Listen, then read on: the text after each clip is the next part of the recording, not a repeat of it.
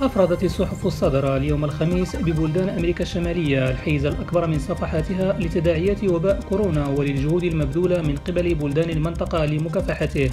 ففي الولايات المتحدة ذكرت ذهيل أن الرئيس دونالد ترامب يمتنع عن إعلان أمر وطني بالحجر الصحي على الرغم من أن بعض حكام الولايات يرفضون فرض تدابير يراها كبار المسؤولين في قطاع الصحة ضرورية لإبطاء تفشي الوباء. أما صحيفة بوليتيكو فأوردت أن عددا من حكام الولايات المنتمين للحزب الديمقراطي عبروا عن معارضتهم لتدبير الرئيس ترامب للأزمة الناجمة عن تفشي جائحة كورونا. بنما قد تطلب إرجاء سداد ديونها. تعنون يومية بنما أمريكا وفي التفاصيل نقرأ أن البلد الكاريبي وعلى الرغم من أنه لا يوجد ضمن قائمة البلدان المرشحة لطلب تعليق سداد ديونها من أجل إعادة توجيه مواردها لمكافحة تفشي وباء كورونا كما اقترح ذلك صندوق النقد الدولي والبنك الدولي فإنه قد يضطر إلى هذه الخطوة إذا تفاقم الوضع واستمرت الأزمة الصحية لوقت أطول. وفي كندا أفادت لوجورنال دو مونريال أن الآلاف من الأقنعة الواقية الخاصة بحماية العاملين في قطاع الصحة بكيبيك تم إرجاعها إلى الولايات المتحدة بطريقة غريبة بعد تسليمها إلى المقاطعات